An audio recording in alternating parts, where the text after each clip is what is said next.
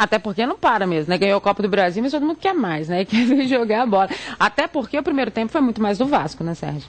Até no segundo tempo, o João Santana uhum. falou um negócio interessante mesmo, né? E eu também sempre falo. O futebol é emocionante e é o esporte mais praticado no mundo. Por quê? O que joga pior consegue vencer o que jogou melhor. E ontem o Cruzeiro jogou pior do que o Vasco e conseguiu vencer. Parabéns pelas finalizações, uhum. finalizou três vezes, fez três gols. E o craque é diferenciado mesmo. O Montijo, no primeiro lance, ele colocou o Leandro Guerreiro para fazer o gol, batendo o corner. Uhum. E depois faz uma jogada daquela e consegue um gol maravilhoso, um golaço. Definiu o jogo, 2 a 0 acabou. Agora, a gente não viu só o Montijo né, nessa, nesse contexto. A gente viu que ele deu uma melhorada na situação efetiva, mas você tinha a volta do Thiago Ribeiro. Como é que foi o Thiago? O Thiago Ribeiro, a gente viu ele ainda sem ritmo de jogo. Hum. Mas Thiago Ribeiro e o Alisson é a melhor dupla de ataque do Cruzeiro, disparado. Porque quando joga Brandão ou joga Anselmo Ramon, coloca-se toda a carga em cima deles, porque aqueles, eles estão na referência. Com o Alisson e com o Thiago Ribeiro, a gente vê os dois marcando, a gente vê o Cruzeiro conseguindo contra-ataques rápidos, que não foi o caso de ontem. Ontem o Cruzeiro conseguiu dois contra-ataques no final do jogo, que o Ortigosa já tinha entrado uhum. no lugar do Alisson, sofreu o pênalti e no outro, o Montijo faz aquela maravilha de jogada e consegue o gol. Agora, São Fábio trabalhou de novo, né, Edmara? Ele faz essa diferença. Aliás, alguém explicou por que ele não é mais o capitão? Ou foi o quê? Uma não, ninguém do, explicou. do pessoal? Eu acho que o João Santana deve ter alguma, algumas coisas que alguns treinadores têm simplesmente de não colocar os goleiros como é, capitão. que seja isso. Por quê? Porque eles estão mais distantes. Estão distantes, né? Aí a gente pega e vê o Rogério Senna, tanto tempo capitão do, uhum. do do São, São Paulo. Paulo. O Marcos ficou muito tempo com a faixa Palmeiras. de capitão no Palmeiras. O próprio Fábio, que está fazendo história como grande ídolo do Cruzeiro, que é o capitão. Agora, o Montijo é craque, uhum. a gente sabe que tem uma grande liderança, mas ainda não está falando português. Dominando, a dominando a língua portuguesa. Então é até uhum. arriscado. Às vezes ele vai conversar com o juiz e o juiz pensa que ele está xingando ele, pode expulsar.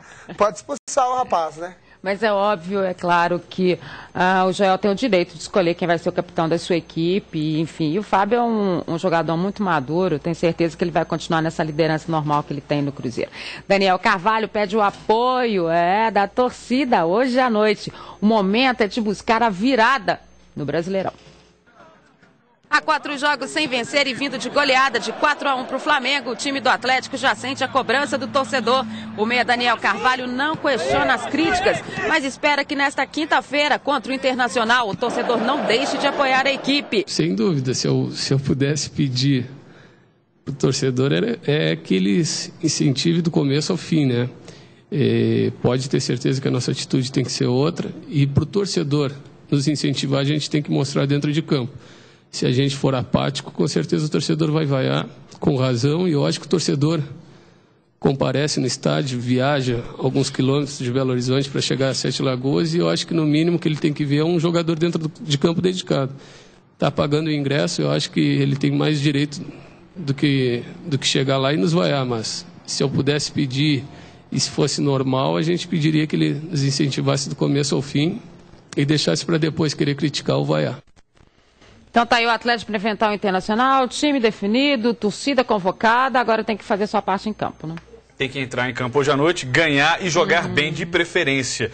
Mas se jogar mal e vencer também não seria ruim. O Atlético tá nesse Campeonato Brasileiro deu exemplos. Por exemplo, contra o São Paulo jogou bem e acabou sendo derrotado. Uhum. Jogou bem também contra o Bahia e não conseguiu voltar de Salvador com um bom resultado. O fato é que o Atlético tem que entrar em campo hoje. Com essas mudanças, a volta do Richardson acho que é interessante para o meio-campo do Atlético e, e, buscar essa vitória. Tem que vencer. Eu acho que não há mais explicação, não é questão de vontade, não é nada disso não. Tem que vencer para acabar de vez com qualquer problema. Essa volta do Richarlison, muita gente pergunta, né? Por que que em alguns jogadores as situações são diferentes, né? O Guilherme teve que esperar, o Daniel Carvalho teve que esperar e o Richarlison já recuperou e já voltou até antes do tempo programado. Uma filosofia que o Dorival normalmente diz que não é assim. Né? Você entendeu essa volta rápida? Tudo bem que é necessidade, né? O Richarlison é um jogador que tem uma boa experiência e boa marcação. Uhum. Acho que uhum. talvez isso tenha pesado na hora do Dorival escolher quem vai ser titular.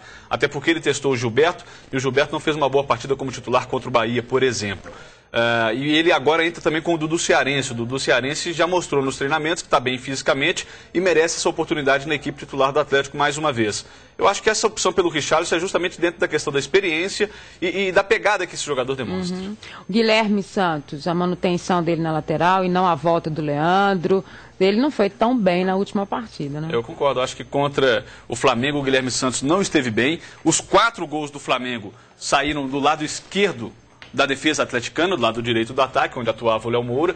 E, e, apesar disso, acho justa a manutenção do Guilherme Santos. Era um jogo que ele estava voltando, ficou muito tempo afastado da equipe titular e, e, merece ter essa sequência novamente. Até hoje eu não entendo bem o porquê dele ter deixado a equipe. Saiu por contusão, recuperou, deveria naturalmente ter recuperado a vaga. Uhum. Não recuperou. Ficou o Leandro, que também não comprometeu. Só que tecnicamente eu acredito que o Guilherme Santos é melhor. Vamos ver então o que, que, vai acontecer na Arena do Jacaré essa noite. A gente vai estar lá acompanhando, vai trazer todas as informações para você. Daqui a pouco a gente vai conversar com os nossos comentaristas, saber o que, que eles estão esperando mais dessa partida. Você quer economizar combustível? Preste muita atenção. Até 50% de economia de álcool ou gasolina. É do que eu estou falando, sim. É isso, é possível. Dispositivo Redux Flex, o único capaz de economizar até 50% de combustível. Ligue agora 0800 580 9595. Receba seu Redux Flex a preço de custo, ou seja, menos da metade do valor. São apenas 30 unidades do dispositivo mais cobiçado da Fórmula 1, é da Fórmula 1 mesmo, testado e aprovado pela Federação Mundial de Automobilismo, que realizou diversos testes assegurando a eficácia do Redux Flex. 0800 580 9595. Você quer parar de desperdiçar dinheiro com combustível? Comece hoje mesmo com Redux Flex. Seu carro ou moto começará a economizar imediatamente até 50% de combustível. Não perca tempo e dinheiro. Ligue 0800 580 9595 e receba o seu Redux Flex a preço de custo em sua casa hoje mesmo. Até 50% de economia. Tecnologia de ponta da Fórmula 1 agora no carro. Redux Flex 0800 580 9595. Aproveite o intervalo e liga lá. E não se esqueça, a partir de segunda-feira, o Minas Esportes muda de horário. 1h20 da tarde, bacana, não é? Vou estar te esperando todos os dias no nosso encontro a 1h20. A gente vai ter mais tempo para conversar, mais tempo para interagir. Então, a partir de segunda-feira, o Minas Esporte a 1h20. No próximo bloco, o bate-papo com os nossos comentaristas, a vitória do Cruzeiro, a derrota do América, o jogo do Atlético contra o Inter na Arena do Jacaré. Não sai daí, olho no Minas Esporte. Olho na Band.